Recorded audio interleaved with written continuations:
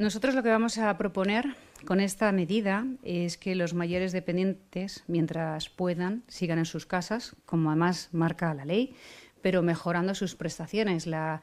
teleasistencia avanzada, la ayuda a domicilio, los centros de día, las comidas a domicilio, manutención, ayudas. Pero todos aquellos que tengan gran dependencia pueden elegir ahora eh, dónde quieren ser asistidos o antes de que se les asigne plaza, seguir en sus domicilios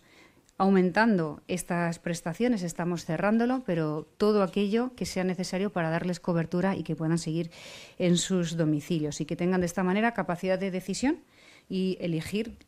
entre todo qué quieren hacer, si seguir en sus casas o irse a una residencia incluso pública o privada. Y además lo que queremos también de esta manera es agilizar, en cambio de que así quieran, el cambio de residencia y que puedan elegir si no están contentos en una u otra donde, donde vivir. Quiero corregir al grupo de Vox en Madrid eh, sobre lo que dice. Eh, bueno, yo si estaba o no en sus enmiendas, no hay enmiendas, luego no lo sé. Lo que sí sé es que esto no se prepara en tres semanas. Esto